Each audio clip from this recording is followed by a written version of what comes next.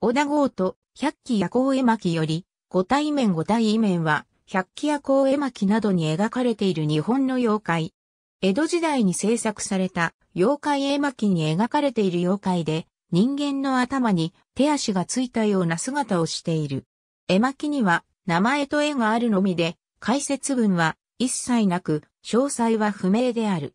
化け物つくし町には五体面と同じ妖怪が描かれており、下国の人という名前が記されている。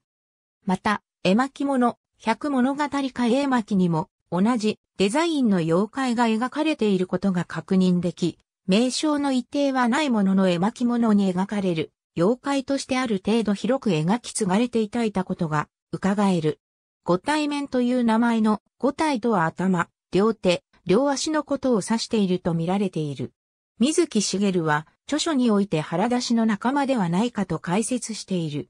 腹出しの図版として佐藤雄文の著作に掲載されている古書に描かれた妖怪は人間の頭部から手足が生えている形をしており、五体面とは似た形をしている。